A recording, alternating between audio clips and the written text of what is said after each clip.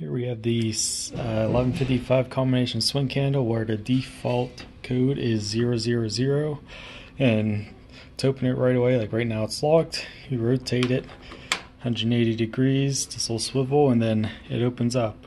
To change the combination you have to just rotate it an, an additional 15 degrees. You'll hear a click and then you kind of pick the new combination. So for this one I'll just do 987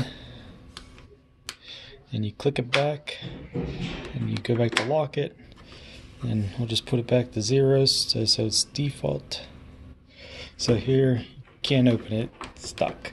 So then you put in the combination of 9 8 7 and then boom it opens. So it's as simple as that. So just to show you I'll put it back. So put it back here just kind of set it back to zeros while it's while it's still at the 15 degrees. And then you just lock it back in place. And then now it opens fine at 000 again.